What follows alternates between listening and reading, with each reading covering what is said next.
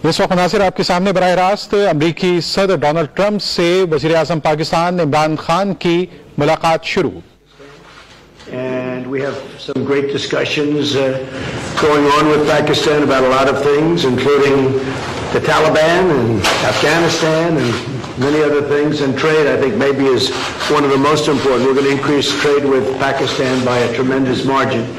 We do a very small amount of trade with them, and they want to do a large, and so do we, and we should be able to do that, I think, Wilbur, very easily. So we're going to double, triple, quadruple the trade. It would be very easy to do. They make great product, and so do we. And I was really shocked when I saw the original numbers from last year and the year before and for many years that the trade with Pakistan isn't much greater, but it could be many times the number. So we'll be talking about trade and other things, and it's an honor to be with you. Thank you very much. Please. Um, I look forward, uh, Mr. President, to talk to you about obviously Afghanistan, which is uh, uh, a big issue for us Pakistanis because uh, stability in Afghanistan means stability in Pakistan. We also want to talk about uh, all three neighbors, Afghanistan, uh, India, Kashmir, and of course Iran. It's just we, we will discuss the situation there because all these all three neighbors of Pakistan. He And lives as, in a very friendly neighborhood. I mean, as if there are not already enough challenges. You know, Mr. President, uh, after your last meeting with the Prime Minister, you offered to mediate between India and Pakistan over Kashmir. And since then, the situation has gotten more complicated, and India continues to deny or accept any mediation. So where does the offer stand now, and don't you think... It would always stand. If I can help, uh, I would certainly do that. And uh, it will be dependent on both of these gentlemen. Uh, One without the other doesn't work if you're going to do mediation or if you're going to do an arbitration. But certainly I would be willing to help if both wanted, if both Pakistan, let's say, and India wanted me to do that. I am ready, willing, and able. It's a complex issue. It's been going on for a long time. But if, uh, if both wanted it, I would be ready to do it. President, Mr. President, but the only thing is, reverting back to my question in the Oval Office on Kashmir. Yes. You know, the thing is, you are asking both the parties to accept and agree. One is aggressor, violator of the UN resolutions, and plus non-compliance, plus, in the, you know, merging Kashmir into its own territory. This is the kind of reporter I like. I like this reporter. And how can you... Are you, are you a member of this team or are you? I'm a member of this, I'm not a member of this team. I'm You know why? You're saying, you're saying what you think. No, That be my question. No, but I have to be How- how can you- How can you make an aggressor and an That's aggressor okay. meet and the violation of the UN Very fair question or statement. I'll- Let me put that one down as a statement if you don't mind. You. But you're right. You have to have a, uh, you have to have two parties that want to agree. And if they, when they come, and and at some point India may come, I have a very good relationship with Prime Minister Modi. I have a very good relationship with Prime Minister Khan. And if at any time they say, you know, we have some points that we think we can maybe iron out, I think I'd be an extremely good arbitrator. I've done it before, believe it or not, and I've never failed as an arbitrator. I've been asked to arbitrate disputes, pretty big ones from friends, and I've done it in a good, successful fashion. If, uh, if I can be of help, you know that. If I can be of help, let me know. But you'd have to have the assent also from the other side. President Johnson now called for a new deal, just moments for a new Iran deal. This is the first time he's called for that. I wonder what your reaction to it, and have you discussed that with Well, I him? think that's why he's a winner. That's why he's a man that's going to be successful in the UK, and I think that's great. You're talking about Boris, Yes, right? about Boris. Uh, Boris is a man who, uh, number one, he's a friend of mine, and number two, he's very smart, very tough, and he does want a new deal because the other deal was ready to expire. It was in a very short number of years left. All that money paid and wasted. Uh, You didn't uh, have the right to inspect the appropriate sites. You were looking at sites that would never be used to create nuclear. Uh, The the sites that they would use, we weren't allowed to inspect. What kind of a deal is that? And ballistic missiles, they're allowed to test ballistic missiles and other things. But one of the biggest things is the fact that the, the agreement is going to expire in a very short number of years. And what kind of a deal is that? We're dealing with countries. You have to go long-term. So uh, I respect Boris a lot, and I am not at all surprised that he was the first one to come out and say that. Mr. This is the first time, this is the first time, this is the first time, so this is Jhandev Ali from here, when you to Pakistan. So this is the first time we, we get honest leadership like you in America, and. uh, I agree with that. This is the first time you've had So, honesty. In- in You've had a lot of dishonesty, and they've treated Pakistan very badly. So, so in fact- People in my position have treated Pakistan very badly. And I think that, uh, I wouldn't say Pakistan has treated us too well either, but maybe there was a reason. And in fact, I think there was a reason for it. So in past, you have said that you don't trust Pakistan, so when we had honest leadership. I and trust we- Pakistan, but people before me didn't, but they didn't know what they were doing. So it's just one of those little problems in life. You know, I, I, you know what I do? I trust this gentleman right here. And I do trust Pakistan. I know, I have a lot of Pakistani friends living in New York. They're smart. Great negotiators, by the way, in case you had any questions. They're among the toughest negotiators in the world. So so you're really And, and you know what? It's all going to work out. But if I can help, I'd like to help. But I don't think you've ever had a president that felt the way I do in a positive way about Pakistan. I don't think you have. I've looked back and I've seen where it was and, and, but I also have a very good relationship with India. I have a good relationship with both. So that if, if they decide to use that feeling among both, I think we can help out. But this has been a long, this has been a long-standing, this has been going on for a long time. So you're. Mr. President, yesterday on shared the stage with PM Modi, he alleged that Pakistan is the hub of terrorism. Do you endorse that or do you disagree with that? Because you said that Pakistan has made a, a lot of terror. Well, I really have been pointing much more to Iran. I mean, Iran, if you look at what, that's been really the state of terror, and I've been saying it's the number one state of terror in the world. And the agreement we had does not cover that. It was not doing well, it was doing very poorly, and now Iran is doing very poorly. Iran is uh, a different place than when I took over. When I took over the United States, when I became president, Iran was a real threat to the entire Middle East and maybe beyond. And now uh, they're having very, very big difficulties, to put it mildly. So we'll see.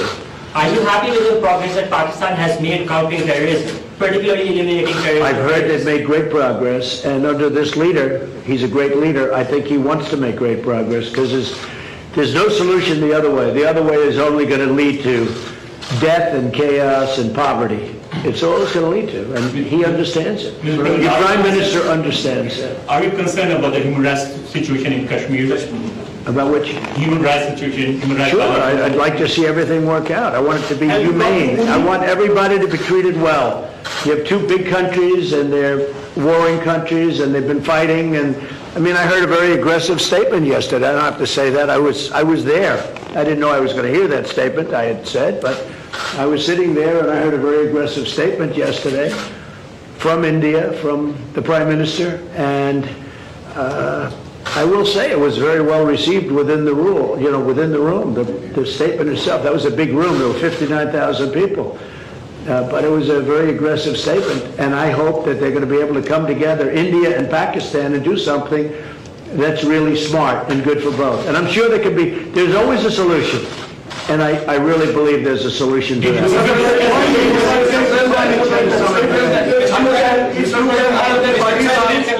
You might find it overpriced. Easy, easy. I- you- You've asked one already. Go ahead, quick- quickly. Make one second statement. Now, if Go ahead, make a you statement. can solve this outstanding issue of Kashmir, Yeah. very likely and definitely you will be deserving a Nobel Prize on that. I think I'll Peace get a Nobel Prize for a How lot about of that? Mr. President, Mr. President, I think I'm going to get a Nobel Prize for a lot of things if they gave it out fairly, which they don't. Mr. President. They gave it out, well, they gave one to Obama immediately upon his ascent to the presidency, and he had no idea why he got it. And you know what? That was the only thing I agreed with him on. Other than Pakistan and India, Go ahead, go ahead, come on. other than Pakistan and India, the Kashmiri people are suffering last 15 days. They will talk later on, but right now there was human right violation in Kashmir. 50 days lockdown, no internet, no food, no nothing. So, you know, what, what do you want to do for the Kashmiri people? Where do you find reporters like this? These guys are... Pakistan and India, the Kashmiri people are suffering last 15 days. They will talk later on, but right now there was human rights violation in Kashmir. 50 days lockdown, no internet, no food, no nothing. So, you know, what, what you want to do for Kashmiri people? Where do you find reporters like this?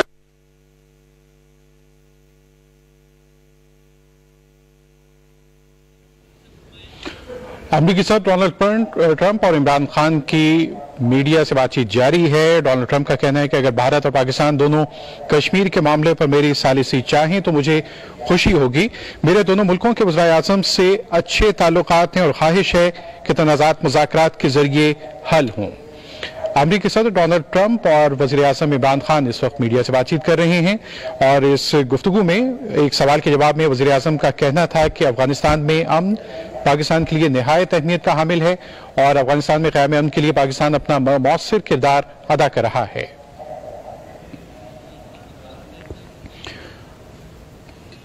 Media سے بات چیت کی تفصیلات آپ سے share کر رہے ہیں اور ان تفصیلات میں اہم بات یہ ہے کہ امریکی صدر ڈونلڈ ٹرمپ کا کہنا ہے کہ پاکستان کے پاس ایک ایسی اعلیٰ قیادت موجود ہے جس کی موجودگی میں بات چیت کے لیے سازگار ماحول پیدا کیا جا سکتا ہے۔ انہوں نے کہا کہ عمران خان ایک اچھے اور ایک اہم لیڈر ہیں اور تنازعات کو حل کرنے کے لیے اپنا بھرپور کردار ادا کر رہے ہیں۔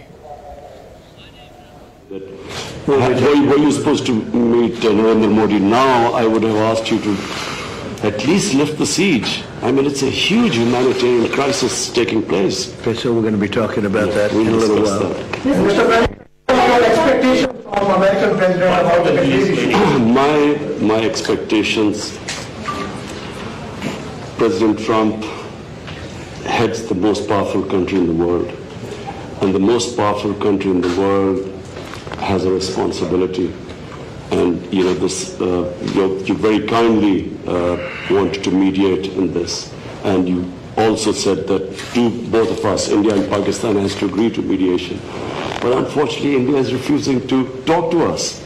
So uh, in this situation, I feel that this is the beginning of a crisis. I honestly feel that this crisis is going to get much bigger, what is happening in Kashmir. So we would like to talk about that later. But just the fact that the position of the United States, it's, it's the most powerful country. It can uh, affect the United Nations uh, Security Council. It has a voice. Uh, so we look to the U.S. to uh, put out flames in the world. And I will say this, look, out of my respect for your prime minister, I will say that uh, many countries wanted to meet with me and us, the United States, during this very short three-day period, and we were unable to meet with many of them. One of the countries I wanted to meet with, with was Pakistan and your prime minister, and it's an honor to be here with you. And I think you should let us start talking now because, uh, but I do appreciate there's a tremendous uh, spirit from your press. I don't see that with us. They want to always tear our country down, and with your press, it's really they would like to see something positive for your country. And I will tell you this: you have a great leader. And uh, he's a good man, he's a nice man, happens to be a great athlete, not that that matters, but it's always, it's always nice. You are a great leader too, sir. Uh, Thank you very much. You take care of yourselves. Thank you very much.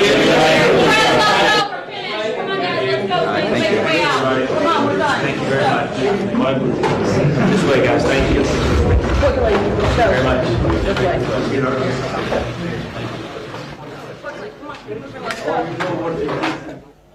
امریکی صدر Donald Trump اور وزیر اعظم عمران خان کی انتہائی اہم ملاقات اور عمران خان نے ایک بار پھر مشن کشمیر کے حوالے سے اپنے گفتگو میں اسی بات کو مرکز نگاہ رکھا کہ افغانستان میں قیام امن تو اہمیت کا عامل ہے، لیکن کشمیر میں جو پچاس روز سے کرفیو جاری ہے، اسے ختم کیا جائے اور امریکہ اس معاملے میں اپنا رول ادا کرے۔ ہماری خواہش ہے کہ امریکہ کشمیر میں بھارتی جاریت کے خاتمے کے لیے کردار ادا کرے اور ایسے حالات میں بھارت سے بات چیت ممکن نہیں ہے۔ اس موقع پر امریکی صدر ڈونلڈ ٹرمپ نے وزیر اعظم عمران خان کی سیاسی بصیرت کو اور ان کی شخصیت کو سراہا۔ ان کا کہنا تھا کہ نیو یارک میں اس اہم موقع پر بہت سی شخصیات سے ملاقات ہو پاتی ہے۔ بہت سی شخصیات سے ملنا ممکن نہیں ہوتا، لیکن میری شدید خواہش تھی کہ میں پاکستان کے وزیر اعظم عمران خان سے ضرور ملاقات کروں، کیونکہ میں ان کے ویژن اور ان کی شخصیت کو پسند کرتا ہوں۔ اور اس خطے کے تنازعات کے حل میں ان کا اہم کردار ہے۔